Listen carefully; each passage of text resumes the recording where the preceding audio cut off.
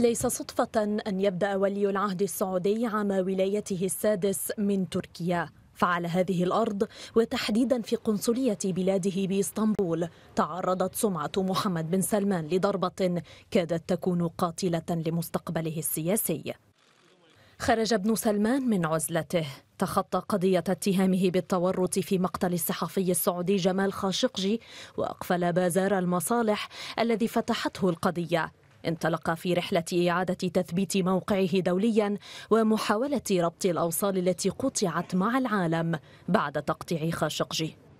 في الثاني والعشرين من الشهر الحالي يزور ابن سلمان تركيا للمرة الأولى منذ عام 2018 عقب زيارة للرئيس التركي رجب طيب أردوغان إلى السعودية منذ أسابيع وتأكيد طي صفحة الخلاف بين البلدين.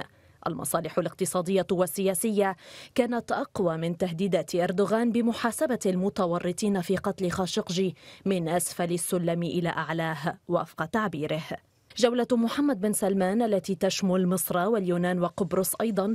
تسبق زيارة للرئيس الأمريكي جو بايدن إلى السعودية الشهر المقبل وهي زيارة تكرس تفوق لغة المصالح المتبادلة ولا سيما في لحظة حساسة تحكمها أزمة دولية متصاعدة. جزء من هذا. يدخل ولي العهد السعودي عام ولايته السادس من الباب الاقتصادي الكبير في خضم ارتفاع أسعار الطاقة نتيجة المواجهة الروسية الأطلسية في أوكرانيا محاولا إخفاء فشل استراتيجي في اليمن بعد سبع سنوات من حرب زعم أنه سينهيها خلال أسابيع.